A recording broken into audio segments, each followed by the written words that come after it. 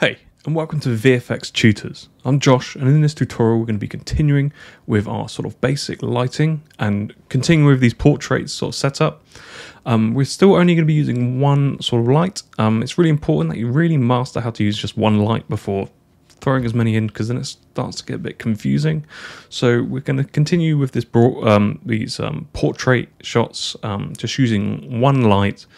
And yeah, we're just going to go through all this sort of reference so you can sort of hopefully by the time you've done all these, you'll be, be able to understand quite a lot of basic lighting. So I'm not going to go on. It's going to be a quick intro. Um, but I hope you've enjoyed this little series. Um, yeah, and don't forget to hit that like and subscribe for more like this. So I've got my uh, Maya open. Um, I've opened up my previous shot. So um, if you haven't got this, um, you can just download this all in the description. It's all free. You can get the bust, plinth, um, the the backdrop, and all that sort of stuff, and the camera. Like you get everything you see here, and you don't have to be using Maya. You can be pretty much using any 3D software. Um, I just use Maya because it's just what I've been using for quite a long time.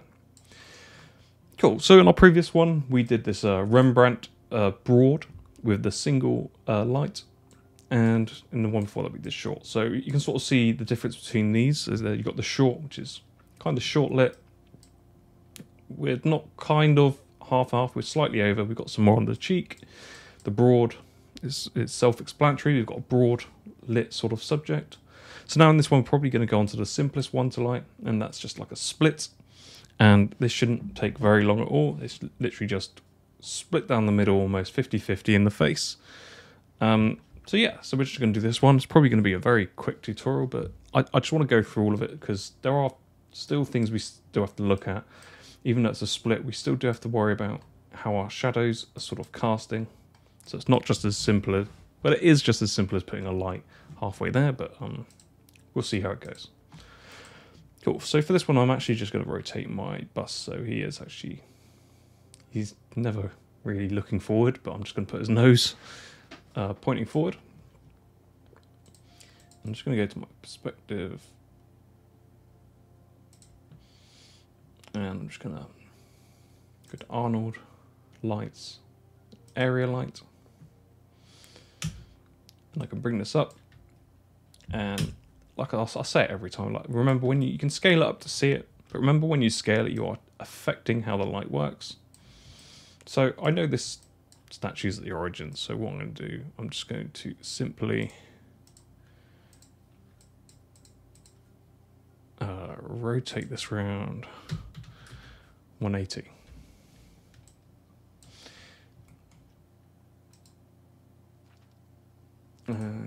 just line this up. We can look for on lights, but it's probably not really needed.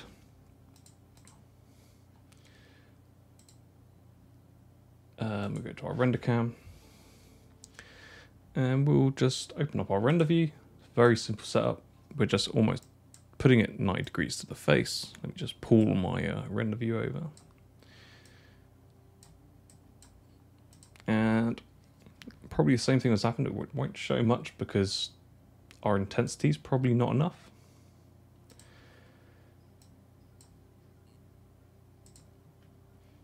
So, like I say, you can use your intensity, which I believe is Kelvin, or your exposure. And from our previous one, so if we just do it in, in steps, so we do 5, let's do 8, still not seeing it, 10, cool. Now we're starting to see our subject. It's probably because we're slightly further away. Our light is, sorry. So if we just go 12, you can see we're almost pre pretty much... I'm going to go 13.5 for this. Because if you look at this, it's we're quite... We're very... Even though it's very dark, we can still see some something here. This is almost very, very, very black. So it might not just be a case of being exactly 90 degrees to it, even though it, and it's probably also the shape of the head. So I'm just going to bring it slightly off, around. And see how it's not really changing much of our 50-50 split, but we have actually added a tiny more bit of light to there. So I'm just going to take a snapshot of that.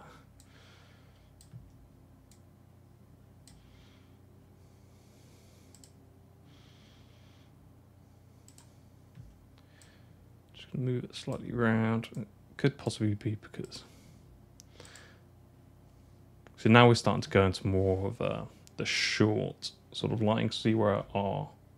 We don't really have a visible nose cast, so we've definitely gone too far.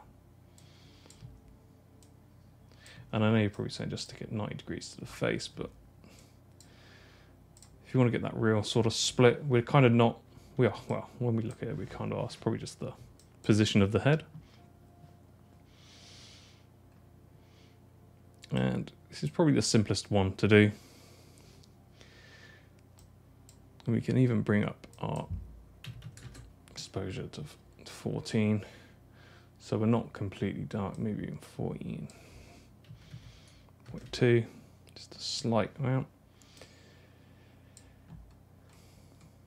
And all I'm going to do is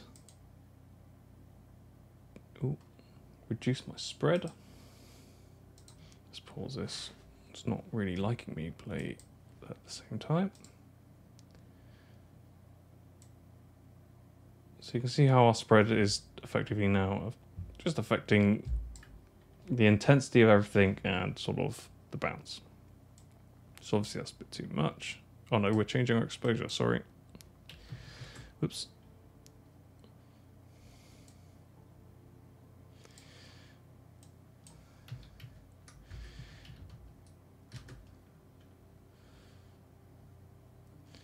So I'm actually going to go up to 15, I think.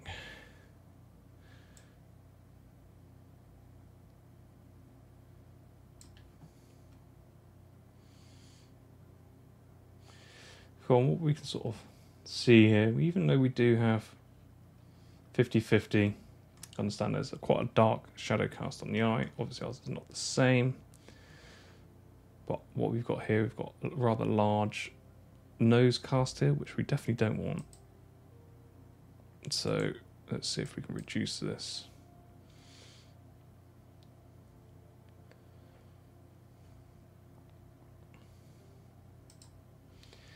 Uh, maybe my samples are silly high. Yeah, okay, so let's go. Put that back to two.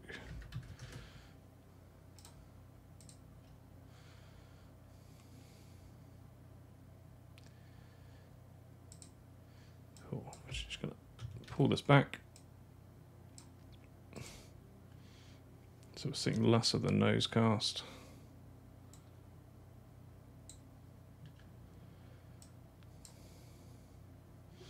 You can see that we've got both on the, the philtrum on the top of the lip. We can see both of the, the humps. And we've got the sort of shadow cast in here. It's like it's basically a 50-50 split, but not super, super sort of dark. We don't want it too bright, but we want to make sure it's a prominent 50-50.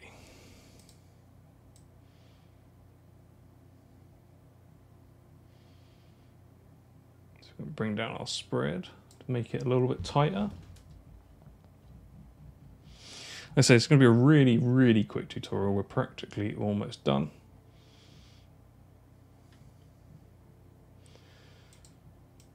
So I'm just going to bring it up. I want my nose to sort of, I want it to disappear this highlight here. Don't want that. So just going to move it around so the nose shadow is covering up this highlight here. So we get like a nicer 50-50. So that's sort of covering that up now. And when we look here, we go straight down the nose, a little bit over the eyebrow here.